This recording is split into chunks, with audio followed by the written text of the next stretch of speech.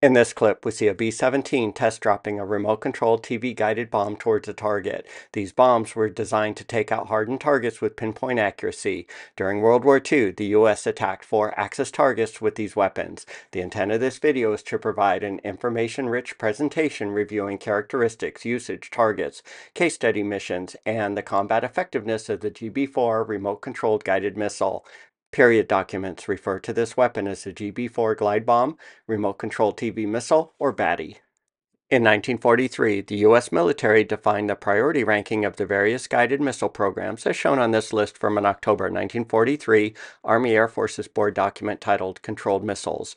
The priority list ranking includes glide bombs, Azon bombs, radio-controlled glide bombs, TV-controlled glide bombs, and power-driven bombs.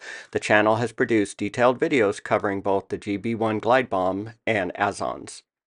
This page outlines characteristics of the GB-4 air-to-surface missile from a 1947 explosive ordnance document. It is 12 feet 2 inches in length with a wingspan of 12 feet. The total weight equates to 2,536 pounds. The warhead is a standard AN-M66 2,000-pound class general-purpose bomb.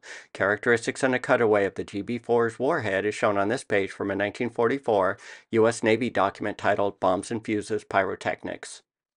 The bomb contains 1,117 pounds of TNT. The bomb size. The damage the bomb can inflict on a row of brick buildings and is capable of blowing through 6 feet of concrete, depending on the fuse setting, as shown in this 1945 Terminal Ballistics Data table. Like the GB-1s, GB-4s are released from a B-17 mothership. Two GB-4s can be mounted under the B-17 wing's external racks. The operator controller will guide the bomb by radio controls. He will view the bomb's trajectory by a TV image from a camera inside the missile. This operator is viewing the missile's TV image through a light shield and controlling the bomb by a joystick controller box. This page outlines bomber system components and specifications needed to operate the GB-4 guided missile from a 1946 remote control and television equipment document. The system includes a monitor indicator, radio receiver, light shield, and transmit receive antennas. The frequency is between 264 and 372 megacycles within a range of 30 miles. Screen resolution is 325 lines horizontal and 300 lines vertical. The TV signal is AM based. The bomb is constructed like the GB-1s by attaching a standard 2,000-pound general-purpose bomb to the GB-4's glide kit. The missile's movable surfaces are its rudder and elevator, but no ailerons. A cutaway of the GB-4 is shown. The rudder is here, and elevators are here. The wings do not have ailerons. The missile is to be deployed against well-defended hardened targets, which are visually contrasted from its surroundings. Average circular error equates to 200 feet. For reference, this October 1943 8th Air Force's bombing accuracy table lists conventional bombing circular error at 1,210 feet. The GB-4 bombing accuracy should be six times more accurate than conventional bombing. The bomb is released at a speed of 175 miles per hour at a distance 17 miles from the target, which is well outside the range of anti-aircraft flak guns. Altitude of release is 15,000 feet. The missile will glide towards the target at a 6 to 1 glide ratio at a speed of 250 to 300 miles per hour, and its time of flight is around 4 minutes. The missile produces no thrust. The missile's camera is mounted below the bomb, pitched 3 degrees down, and has a field of view of 14 degrees wide and 18 degrees high. The camera is mounted here, and its field of view is here. The GB-4 uses the Block 3 motion picture camera as defined in this 1946 AAF Scientific Advisory Group missiles document. The camera operates at 300 megacycles using the f4 lens at a 20 centimeter focal length. Brightness settings are for daytime usage only. The total weight of the bomb's camera equipment is around 100 pounds. The GB-4's control box, batteries, and antenna are located here. The missile's electrical system components are shown in this image, including the radio transmitter and antenna. A gyroscope keeps the missile stabilized in roll and azimuth. Radio-controlled TV-guided missile disadvantages and advantages are listed on this page. The transmit and receive systems are complicated, susceptible to jamming and interference, and requires a clear target view. Advantages are the bomb is more accurate than conventional bombing. The operator can change to a new target while the missile is in flight. It will be less susceptible to decoy targets. The operator, though, must be well trained in using the system. Since a GB-4 missile is released far from the target, the operator will be challenged in maintaining target contact during the four-minute time of glide. He will need to fly the bomb to the target. Pre-mission briefing will need to cover the monitor views expected with terrain and relief models. Improper briefing may lead to mission failure. Another advantage of the glide bomb is listed in this 1942 memo. The flat trajectory increases the likelihood of a building strike. The bomb can ground skip travel up to one mile and one third mile over water. This clip shows the bomb's shallow glide slope and skipping after ground contact. A total of six GB-4 bombs were dropped in combat during World War II, as shown on this table from a 1945 Air Force's operation document. RBC is Remote Control Bomb or Batty Bomb. The original GB-4 targets included V-1, V-2 rocket sites along the French coastline, as discussed in this October 1944 3rd Bombardment Division document titled Final Report on Batty Project. Due to the rapid advancement of Allied troops after D-Day, these targets were captured. The mission dates, target types, and locations, and number of G4 bombs are shown on this table. Mission 1, attacking the E-boat pens in France with two bombs. Mission 2, attacking the U-boat pens in France with two bombs. Mission 3, attacking a steelworks factory in Germany with one bomb. Mission 4, attacking an oil refinery in Germany with one bomb. Fighter escort to be provided. This map from a 1945 United States Army Atlas of World Battlefronts document outlines the state of Reich-occupied territories as of September 1, 1944. The mission locations are identified on the map. The group commander's first mission report on the E-boat pen attack is described on this page. A Mosquito photoplane was added to the formation to take footage following the first bomb down. They lost sight of the first bomb. The Mosquito followed the second bomb on its glide to the target. The Mosquito was struck by the GB-4's bomb fragments. One chute was seen. Bombing was not successful due to TV receiver failure. The mothership receiver could not pick up the camera images.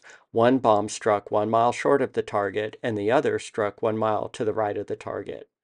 No enemy opposition was encountered. The group commander's second mission report on the U-boat pen attack is described on this page. One B-17 took off with two GB-4s under its wing. The plane was escorted by 12 Mustangs. The first bomb's TV unit failed and they could not receive any images. The bomb was lost. The second bomb spun out of control and struck to the side of the target. This was due to a system malfunction in the control ship. Both bombs were released from an altitude of 17,000 feet at a speed of 165 miles per hour. No enemy aircraft were encountered. Visibility conditions were described as ceiling and visibility unlimited. No issues in seeing the mean point of impact. Crews suggest to increase visibility, paint the top of the bomb yellow. The group commander's third mission report on the Steelworks attack is described on this page. One B-17 carrying a single GB-4 bomb took off. Nine Mustangs gave fighter support. The target was obscured by six to eight tenths clouds. The operator released the bomb through the clouds, figuring he could pick up the images as the bomb broke through the clouds. The picture came in when the bomb was at an altitude of 3,000 feet. At this altitude, the bomb will strike the ground in around 48 seconds, not enough time to align with the target. No steelworks was in sight. The bomb struck three miles from the target. Another report indicates he was aiming at the only contrasting object in view. This was a church. It was too late to change the missile's course away from the church. The church was six miles from the primary target. The 12 screen images show the TV snapshot returns. The church is in the pictures highlighted. As you can see, target contrast is important. The group commander's fourth and final mission report on an oil refinery attack is described on this page. One B-17 carrying one GB-4 was dispatched. Poor visibility conditions existed at the target. Two runs were made and the bomb was released. The bomb missed the target. This overall mission summary chart indicates the bomb missed the refinery by 6 miles.